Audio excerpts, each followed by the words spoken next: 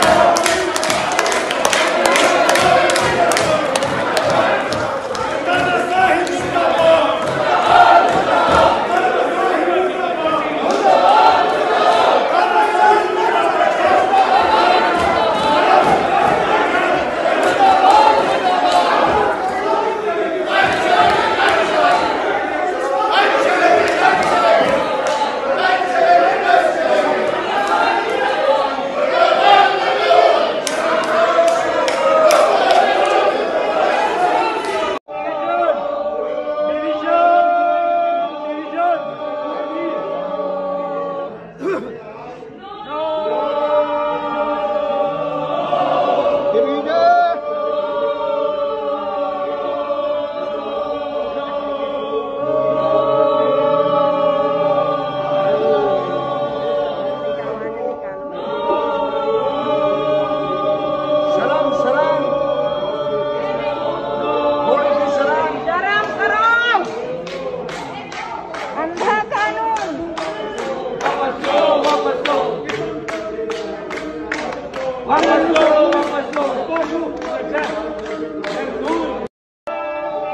Then what happened?